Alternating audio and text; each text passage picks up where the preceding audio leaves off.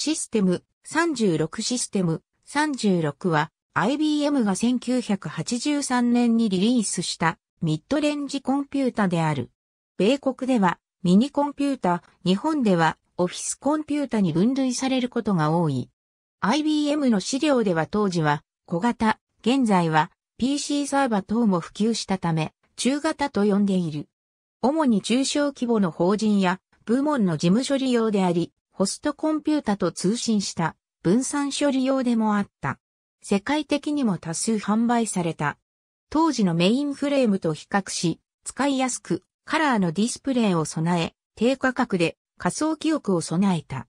オペレーティングシステムは SSP で、内部文字コードは EBCDIC であり、システム3以来の IBM の簡易言語である RPG2 のほか、コボル、ベーシック、フォートランが使用できた。また IBM の通信プロトコルである SNBA を備えた。システム3、システム32、システム34の後継であり、統計等の最終シリーズでもある。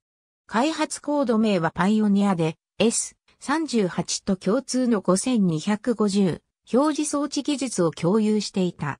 将来的に2バイトコード処理を想定していたので IO 装置、表示技術や WSC の内部処理を共通化させていた。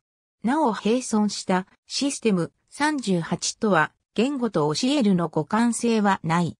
AS400 登場後、徐々に移行した。ありがとうございます。